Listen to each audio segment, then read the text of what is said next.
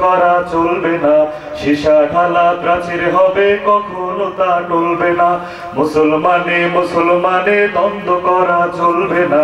সীসা ঢালা প্রাচীর হবে, কখনো তা টলবে না। তবেই শান্তি পাবে, অশান্তি দূর হবে। তবেই শান্তি পাবে, অশান্তি দূর হবে। কেউ আর মুসলমানের বাজে কথা বলবে না। মুসলমানে মুসলমানে দ্বন্দ্ব করা চলবে না। সীসা ঢালা প্রাচীর হবে, কখনো তা টলবে না।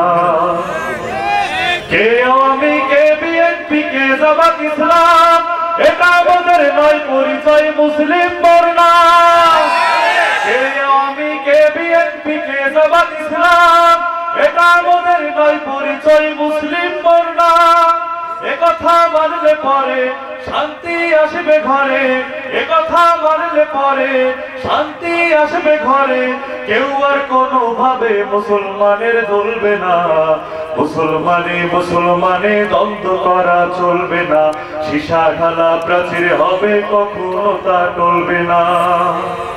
মাঝা বারলা মাঝাবের লড়াই যদি চলে আসবে না রে ভাই, কোনই কৌশলে। মাঝা বারলা মাঝাবের লড়াই যদি চলে, শান্তি আসবে না রে ভাই, কোনই কৌশলে।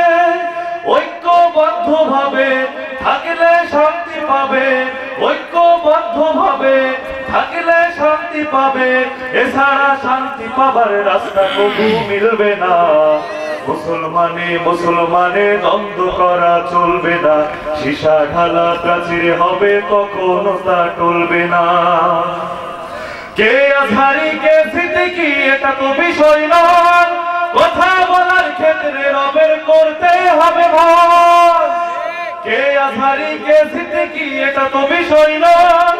কথা বলার ক্ষেত্রে রবের করতে হবে ভয় হকের কথা বলবে তারা হকের পথে চলবে তারা হকের কথা বলবে যারা থাকা উচিত। হকের পথে চলবে তারা তাদের সাথেই থাকতে হবে এই কথাটা ভুলবে না।